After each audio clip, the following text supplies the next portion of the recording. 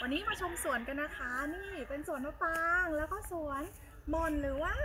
มัลเบอรี่ของพี่หยกกับพี่แฟงค่ะสวนแบบนี้ของเยอะมากเลยแต่วันนี้เราก็คิดหาเมนูเมนูหาทำประจำวันนี้คือยำมะปราง เพราะฉะนั้นไปหาวัตถุดิบกันเลย เริ่มต้นด้วยตัดตะไคร้หอมๆสดๆจากสวนของเรา และไปหา วัตถุดิบต่อไปให้เด็กๆนำทางพี่ยกพี่แฟงนำทางนะคะ เดินไปต้องเน่งต้องเน่งเนี่ยไปหามะนาวสดๆ นั่นเองโอ้ปีนี้มะนาวออกเยอะมากน้ำดีมากๆเลยจากสวนของน้องกวางตุ้ง เยอะมากแล้วก็ออกดอกตลอดเลยนะคะ แล้วก็ไปเก็บโน้ดอกอัญชันสวยๆค่ะ ไปชมสวนเนาะดอกชวนชม น้องเก็บดอกอัญชันได้หลายดอกเลยนะคะ จะเอาไปไว้รับประทานคู่กัน แล้วก็ตกแต่งจาน โอ้โห ดูสิ ดอกของเราเนี่ยมีครบเลยนะ สมุนไพรทั้งนั้นเลย เด็กๆชอบมากเลยค่ะ ได้เรียนรู้ธรรมชาติ แล้วก็วัตถุดิบที่เราใช้เป็นออร์แกนิกมากๆ ไม่มีสารพิษนะคะ เด็กๆก็ได้เรียนรู้ทั้งภาษาไทยภาษาอังกฤษไปด้วยเรา ได้ชมสวนช่วงนี้นะคะว่านต่างๆก็ออกดอกให้โหชมสวยงามเลยใครรู้จักชื่อว่านนี้บ้างนะคะ พิมพ์บอกมานะ ดูสิคะอันนี้ดอกชวนชมนะคะเขาว่ายิ่งเจอแดดยิ่งสวยนะแล้วเราก็มาเก็บผักชีค่ะ หลังบ้านของเรานี่เองปลูกใส่นะคะอ่ากะละมัง ซึ่งเราใส่ปุ๋ยมูลไส้เดือนเอาไว้นะคะฝีมือของเด็กๆเหมือนกัน น้องกวางตุ้ง น้องหยกน้องแฟงเนี่ยได้ร่วมกันทำนะคะ ตัวปุ๋ยมูลไส้เดือนกันไว้ตั้งแต่เด็กๆเลย ตอนนี้ก็เอามาปลูกผัก แล้วก็เวลาไปทานเราต้องล้างให้เรียบร้อยนะคะล้างให้สะอาดเลย คุณป้าก็มีหน้าที่เก็บผักไปค่ะเก็บนะคะ แล้วอธิบายให้เขาฟังด้วยว่าอันไหนดียังไงอันไหนคือสมุนไพร อ่าแล้วเราก็จะไปลวกกุ้งค่ะ ที่เราเตรียมไว้ให้เด็กๆนะคะ กุ้งนี้ลวกไม่นานนะคะ แล้วเราก็น็อกน้ำเย็นแบบให้สะดุ้งเลย ต่อไปก็ไปเตรียมมะปรางลูกใหญ่ ๆ ใหญ่กว่าเบอร์ไข่ไก่ใหญ่กว่านี้ไม่มีแล้วค่ะ พี่แฟงช่วยทำนะคะ แต่พยายามไม่ให้น้องๆจับของมีคมมาก แต่ก็ให้เขาเรียนรู้คนที่ทำได้ ก็คือพี่แฟนนั่นเองเพราะว่าโตสุดนะคะ ส่วนคนอื่นก็จะเป็นลูกมือ กวางตุ้งกับพี่หยกเนี่ยนะคะ คอยให้กำลังใจและคำถามเยอะมากๆเลย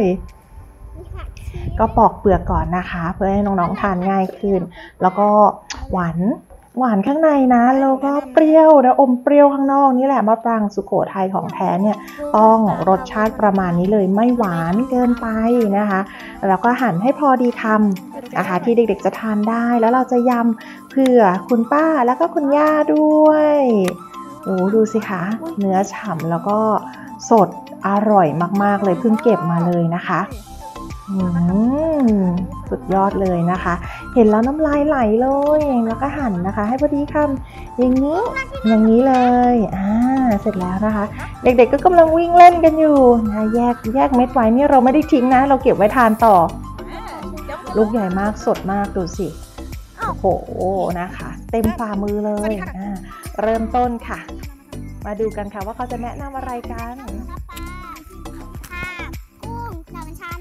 มะนาวกระเทียมมะนาวพริพย์ด้วยปลาหมูปลานี่นะปลาไม่ใช่อือหืมเขาเรียกอะไรนี่เผ็ดหูหนูขาวใช่หอมถูกต้องค่ะใช่แล้วเราจะตกแต่งให้สวย วันนี้น้องๆจะมาทำยำมะปาง กุ้งสดเอ้ยกุ้งลวกหมูสับว่าอะไรนะ one two three ยำมะปรางลูกอะเด็กๆไม่กินพริกใช่ไหมอะอย่างแรกเลยอย่างแรกเลยนะคะ ก็คืออันไหนก่อนเลยนะค่ะใส่หมูเลยค่ะโอ้ก็ใส่ค่ะได้เลยค่ะอืมเอาเลยนี่เลยนี่เราอืมไปตัวกันนะขอใส่อะให้ให้น้องใส่ตัวอันนี้ของเด็กๆค่ะ ใส่ได้ตามใจชอบเลยที่หนูอยากกินกันสามคนพี่หยกมาอะพี่หยกใส่ด้วยอีกนึงอีกนึงโอเคโอเคค่ะใส่ ได้เลยตามความชอบค่ะอ้าวตัวนี้ค่ะนิดนึงนิดเดียวค่ะ เพราะว่าหนูไม่กินกันเยอะไม่เราเป็นใส่อะไรโอเคอะผักสมุนไพรนิดนึงค่ะ ตะไคร้ แล้วก็หอม โอเคพอแล้ว ตะไคร้นิดนึงพยุงมือนึง เพราะหนูล้างมือกันแล้ว โอเคใส่เลยลูก อ้าวเข้าปากไปแล้ว เอาพี่แฟนใส่เลยพี่แฟนเอาช้อนตักเลยใส่อีกค่ะ น้อยเกินไปสำหรับพวกหนูอะทานเยอะๆสองคนนี้นี่ อืมอ่าใส่อีกพอไหม เหรอเค แล้วก็มะนาวขาดได้ยังไง แล้วอย่าลืมปรุงรสด้วยน้ำปลานะคะ ได้เลยค่ะเย้เอ้ยแอบกินโอ๊ยไม่หาหลัละบมันลงไปด้วยนะค่ะได้ใส่เผือกด้วย โอเค หมูสับพอไหมคะพอโอเคค่ะ น้ำปลาค่ะอย่าลืมเอาหมูสับอีกผมก็เอาหมูสับไหมก็ตาอุ้ยดอกไม้จากสวนของเราดูโอเคพอนะมันน้อยเกินไปก็ตาใส่อะไรต่อน้ำปลาสิคะลูก น้ำปลา ไม่ต้องเยอะหรอกอย่าเพิ่งเยอะ เดี๋ยวจะเค็มค่อยๆชิมเอาลูก ใส่เอาช้อนก่อนเออใส่ช้อนกรองก่อน ใช่ อันนี้ให้เด็กๆปรุงตามรสเลย พอแล้วมั้งยังไม่ได้ใส่ ยังไม่ได้ใส่เบาเบาเบาเบาพอแล้วอะโอเคค่ะ ลองก่อน ขยำเลย อ้าว ขยำค่ะนะป้าบอกโอ้โหน่าทานจังเลยอันนี้เส้นที่จะอร่อยโอ้ยใส่บุญเส้นด้วยหนูนี่แค่นี้อันนี้ก็คือโดนแดดถูกไหมให้โดนแสบอืมอืมทำคำสองเลยอะพี่หยกเข้ามาเลย เฮ้ยอย่ากินปลาปลาหมดใส่น้ำปลาอีกไหม อืมใส่ค่ะไหนชิมก่อนสิลูกหนูชิมก่อนเอาช้อนช้อนได้ดูได้อะไรแค่นี้เดี๋ยวนะได้ดูขายจริงได้ไหม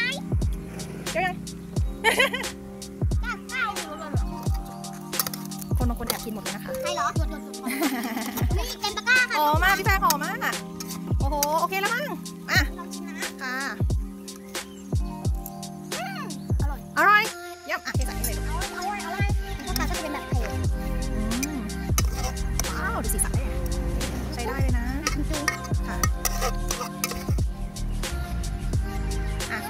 ค่ะพี่แฟ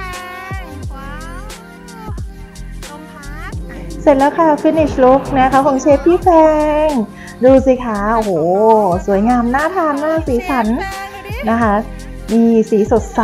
น่ารักมากเลยนะคะ หอมมะนาวมากๆโอ้ไม่รู้ว่ามะนาวสดๆของเราเนี่ยหอมมาก กวางตุ้งพี่หยกไม่รอละค่ะทานมะปรางที่เหลืออย่างอร่อยนะคะ ส่วนพี่แฟงไปต่อไม่รอแล้วค่ะหิวมากนะคะ ช้อนไม่ต้องการค่ะ ทานเลยนะคะ ของโปรดเขาก็คือกุ้งเลย พี่ยกมาชิมต่อ แล้วไม่ใส่พริกนะคะ เด็กๆอร่อยมากๆ บ๊ายบายค่ะ ส่วนกวางตุ้งทานต่อค่ะนะคะ แล้วแอบมาดูเบื้องหลังกันว่าเขาเนี่ยจะกินกันยังไงบ้างมไม่ยอมนะคะ บอกให้ใช้ช้อนไม่ยอมนะคะ เด็กๆบอกว่าหนูล้างมือแล้วหนูจะทานแบบนี้